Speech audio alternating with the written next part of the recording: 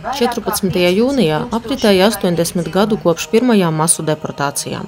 1941.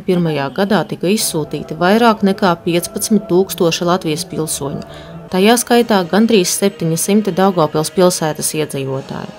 Pieminot deportāciju upurus, tika nolikti ziedi un iedegtas sveces pie piemiņas akmens nevainīgajiem sarkanā terora upuriem Andrē Pumpura skvērā. Piemiņas brīdī piedalījās Daugavpils pilsētas domas vadība, satiksmes ministrs Tālis Linkais, deportētie, viņu ģimenes locekļi, draugi un nevienaldzīgie pilsētas iedzīvotāji. Pēc klusuma brīža un ziedu nolikšanas tika atskaņota valsts prezidenta Egila Levita uzruna.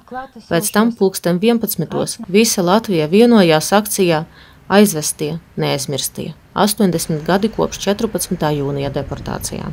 Antons Zerkals, 28 gadi, Antons Lucikovičs, 65 gadi, Andreja Pumpura iela, Urbānu ģimene, Jāzeps, 48 gadi, Olga, 47, Pāvels, 29, Leonāds, 20. Vienlaikus visos valsts novados un pagastos, kā arī tautiešu mītņu zemēs ārpus Latvijas, tika lasīti 41. gadā izsūtīto Latvijas iedzīvotāju vārdi.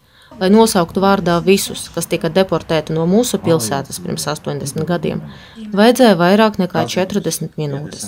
Pēc oficiālajiem datiem tie bija 672 cilvēki, 257 ģimenes ar 187 bērniem vecumā no dažiem mēnešiem līdz 16 gadiem, taču patiesais deportāciju upuru skaits visticamāk ir vēl lielāks. Lasījums tika straumēts reāllaikā un būs pieejams arī ieraksta veidā platformā deportētie.kartes.lv.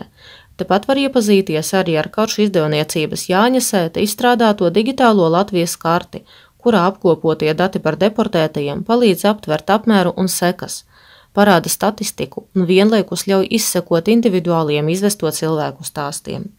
Godinot deportāciju upuru piemiņu, Daugopils novada pētniecības un mākslas muzejs sagatavojas izstāde likteņstāsti pāri gadu tālēm, kur vienotā traģiskā liktenī savīti dažādu Daugopils ģimeņu stāsti un parādītas vēsturiskās atmiņu liecības par to gadu šaušalīgajiem notikumiem. Izstāde apskatāma līdz šī gada 30. novembrim. Siežetu sagatavoja Daugopils pilsētas domes sabiedrisko attiecību un mārketinga nodaļa.